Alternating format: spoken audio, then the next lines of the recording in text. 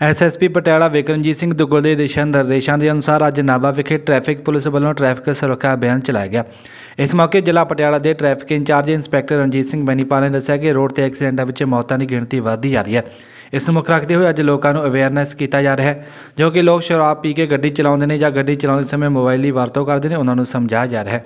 ਕਿ ਸ਼ਰਾਬ ਕੇ ਗੱਡੀ ਨਾ ਚਲਾਓ ਅਤੇ ਗੱਡੀ ਚਲਾਉਂਦੇ ਸਮੇਂ ਮੋਬਾਈਲ ਦੀ ਵਰਤੋਂ ਨਾ ਕੀਤੀ ਜਾਵੇ। ਜਿਸ ਤਰ੍ਹਾਂ ਅੱਗੇ ਧੁੰਦ ਦਾ ਮੌਸਮ ਆ ਰਿਹਾ ਹੈ ਸਾਡੇ ਵੱਲੋਂ ਲੋਕਾਂ ਨੂੰ ਅਵੇਅਰ ਕੀਤਾ ਜਾ ਰਿਹਾ ਹੈ ਕਿ ਗੱਡੀ ਧਿਆਨ ਨਾਲ ਚਲਾਓ। ਸਾਡਾ ਮੁੱਖ ਉਦੇਸ਼ ਲੋਕਾਂ ਦੀਆਂ ਕੀਮਤੀ ਜਾਨਾਂ ਨੂੰ ਬਚਾਉਣਾ ਹੈ। ਉਹਨਾਂ ਕਿਹਾ ਕਿ ਐਸਐਸਪੀ ਵਿਕਰਮਜੀਤ ਸਿੰਘ ਦੁੱਗਲ ਜੀ ਦਾ ਬਹੁਤ ਵਧੀਆ ਉਪਰਾਲਾ ਹੈ। ਸਾਡੀ ਇਹ ਮੁਹਿੰਮ ਲਗਾਤਾਰ ਜਾਰੀ ਰਹੇਗੀ। ਰੋਕ ਕੇ ਜਾਣਕਾਰੀ ਦੇ ਰਹੇ ਹੋ? ਅਸੀਂ ਨਾ ਟ੍ਰੈਫਿਕ ਸੁਰੱਖਿਆ ਸੰਬੰਧੀ ਅਭਿਆਨ ਸ਼ੁਰੂ ਕੀਤਾ। ਮਾਨਯੋਗ ਐਸਐਸਪੀ ਸਾਹਿਬ ਪਟਿਆਲਾ ਸ੍ਰੀ ਵਿਕਰਮ ਦੁੱਗਲ ਜੀ ਜਿਹਦੇ ਦਿਸ਼ਾ ਨਿਰਦੇਸ਼ ਨੇ ਜੇਰ ਨਿਗਰਾਨੀ ਐਸਪੀ ਸਰਦਾਰ ਪਲਵਿੰਦਰ ਸਿੰਘ ਚੀਮਾ ਤੇ ਡੀਐਸਪੀ ਅਚਰੂ ਰਾਮ ਜੀ ਸ਼ਰਮਾ ਜੀ। ਤੇ ਸਾਨੂੰ ਪਤਾ ਹੀ ਹੈ ਕਿ ਐਕਸੀਡੈਂਟ ਦੇ ਵਿੱਚ ਬਹੁਤ ਮੌਤਾਂ ਹੋ ਰਹੀਆਂ ਨੇ। ਉਹਨੂੰ ਮੁੱਖ ਰੱਖਦੇ ਹੋਏ ਅੱਜ ਅਵੇਅਰਨੈਸ ਵੀਕ ਹੈ ਜਿਹੜਾ ਹੈ, ਇਹਦਾ ਦਿਨ ਹੈਗਾ, ਜਿਹੜੇ ਲੋਕ ਸ਼ਰਾਬ ਪੀ ਕੇ ਗੱਡੀ ਚਲਾਉਂਦੇ ਆ।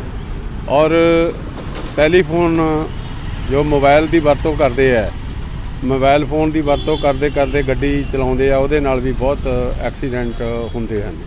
ਅਸੀਂ ਲੋਕਾਂ ਨੂੰ ਰੋਕ ਕੇ ਡਰਾਈਵਰਾਂ ਨੂੰ ਵਹੀਕਲ ਚਾਲਕਾਂ ਨੂੰ ਇਹ ਸਮਝਾਉਣ ਦੀ ਕੋਸ਼ਿਸ਼ ਕਰ ਰਹੇ ਹਾਂ ਕਿ ਸ਼ਰਾਬ ਪੀ ਕੇ ਗੱਡੀ ਨਾ ਚਲਾਓ ਤੇ ਮੋਬਾਈਲ ਫੋਨ ਦੀ ਵਰਤੋਂ ਨਾ ਕਰੋ। ਜਦੋਂ ਤੁਸੀਂ ਕੋਈ ਵੀ ਵਾਹਨ ਚਲਾਉਂਦੇ ਹੋ, ਕਿਉਂਕਿ ਇਹਦੇ ਨਾਲ ਤੁਹਾਡੀ ਟੈਨਸ਼ਨ ਬਦਲ ਜਾਂਦੀ ਹੈ।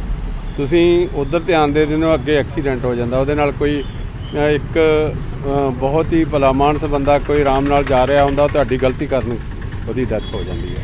ਇਹ ਮੁਹਿੰਮ ਸਰ ਲਗਾਤਾਰ ਚਲਾਈ ਜਾਊਗੀ ਜਾਂ ਅੱਜ ਦਾ ਦਿਨ ਹੀ ਹੈ ਜੀ ਕੁਝ ਨਹੀਂ ਜੀ ਸਾਡੇ ਐਸਐਸਪੀ ਸਾਹਿਬ ਦਾ ਬਹੁਤ ਵਧੀਆ ਉਪਰਾਲਾ ਹੈ।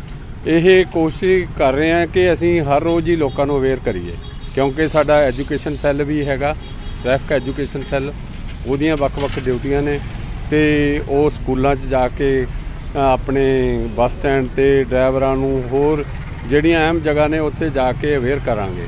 ਤੇ ਇਸ ਨਾਲ ਅੱਗੇ ਧੁੰਦ ਦਾ ਮੌਸਮ ਆ ਰਿਹਾ ਉਹ ਵੀ ਆਪਾਂ ਰਿਫਲੈਕਟਰ ਵੀ ਲਾਵਾਂਗੇ। ਤੁਹਾਡੇ ਜਰੀਏ ਲੋਕਾਂ ਨੂੰ ਬੇਨਤੀ ਕਰਾਂਗੇ ਕਿ ਧਿਆਨ ਨਾਲ ਡਰਾਈਵਰੀ ਕਰੋ, ਗੱਡੀ ਚਲਾਓ, ਕਿ ਕਿਸੇ ਦੀ ਜਾਨ ਨਾ ਚਲੀ ਜਾਵੇ। ਆਵਾਜ਼ ਕਮ ਟੀਵੀ ਲਈ ਨਾਭਾ ਤੋਂ ਚੇਤਨ ਮਹਿਤਾ ਦੀ ਰਿਪੋਰਟ।